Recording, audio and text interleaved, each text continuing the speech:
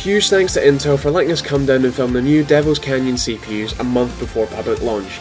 It was a great day and all possible thanks to Intel. Check out the Amazon link for any of the products we talk about in this video in the description down below.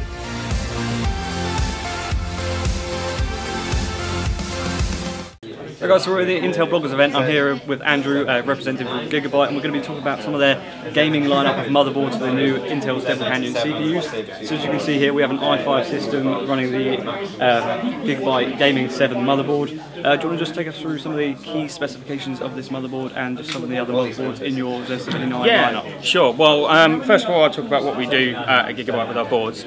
So we have um, three range, or main ranges of boards at the moment. So that's our ultra durable range, which is top to bottom for desktops, um, from high-end performance desktops all the way down to low-end PC desktops.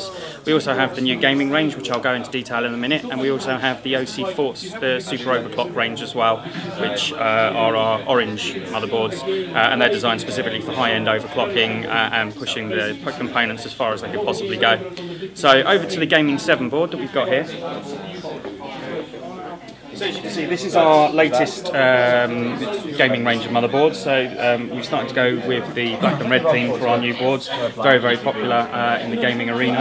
Um, this board here is actually Gaming 7 and it's based on the new Z97 Intel uh, chipset. So the CPU we've got running in here at the moment is the Intel i5 uh, 4670, I believe. Um, and at the moment, as you can see just here, that's actually been overclocked to uh, 4.8 by um, this lovely man here. he was uh, fiddling with it before we started the interview. So you can see that the system's running through at the moment. These new K-series Devil Canyon CPUs are specifically designed so that they can be overclocked via the multiplier, which is exactly what's been done. Um, and 4.8 actually on the i5 one is very very good considering that the standard speed for that CPU is 3.5 uh, and the standard uh, speed for the i7 uh, 47 uh, new 4 gigahertz. is 4 point yeah it's 4 gig and then turbos to 4.4 Yeah. So on the motherboard itself, we've got um, a few key uh, features. Obviously, the fact that you've got this highlighted um, areas that I'm assuming breaks away the audio chipset from um, the rest of the board. So you get, you know, gaming class audio. Obviously, it's this gaming board. People are going to be looking for good depth of sound in their games and things like that. Um, so that's obviously a key feature on their gaming lineup. Yeah, we've also added in the uh, killer network chip as well by Bigfoot. So that basically means, from a networking point of view, you get the very best speeds, really, really low pings, um, and just helps basically uh, improve the gaming experience when you're using one of the Gigabyte motherboards. So, and the last sort of main feature of these motherboards of the Z97 lineup is you've got SATA Express. So you know that's the new That's correct, yeah. So what happened was obviously with the previous um, SATA and the SATA that's on this board, um, so this board comes with standard serial ATA 3 ports and serial ATA Express. Uh, the way the serial ATA Express works is it's basically plumbed directly into the PCI Express lanes. What that means is is that with the standard serial ATA 3 connections that are on there, uh, like with all of the previous generation motherboards, you get a data transfer rate of uh, 6 gigabits per second.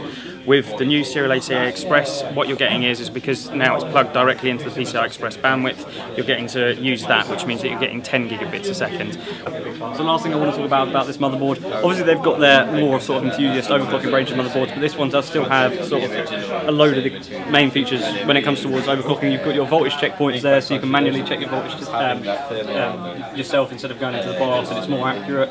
You've got your dip switches, I'm presuming for the uh, PCI lanes. They? Uh, no, those dip switches are actually for the dual BIOS. It's something Okay. that um, is quite unique to Gigabyte. What we do is, is we include two BIOS chips on all of our boards, so you've got a dual BIOS. What that means is, if you're updating the BIOS and your system crashes because there's a power cut or anything along those lines, normally what would that would do would completely kill that board, so you wouldn't be able to use it. With these, you can basically just switch over to the next BIOS. You can then repair the older BIOS and make sure that that's now installed properly, and you can go back to that if you want. But it just means that you get an extra level of durability on all of our products. Right, and another, you've got two more buttons. You've got a hard reset button, so you know if anything goes wrong, you can just press your hard reset button. You've got a CMOS reset button, so if you mess around with any of the BIOS settings and you need to revert back, you can just hit that and it will just go back to the default.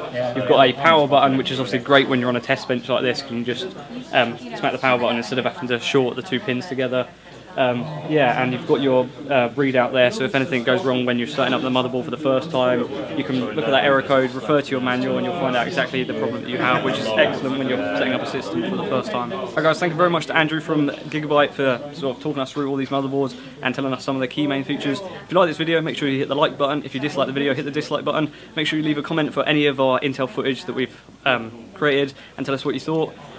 As for everything, thanks for watching and see you all next time. Once again, a huge thanks to Intel for letting us come down and play with our awesome new Devil's Canyon CPU lineup. Just a quick shout out to Asus and Gigabyte who helped out as well with our awesome new motherboards. We'll be working very closely with Asus, Intel and Gigabyte to bring you guys the best possible coverage of not only Devil's Canyon and Z97, but also loads more future releases, so stay tuned. Click on some of the videos on screen to see some of our brilliant Intel Bloggers Day coverage.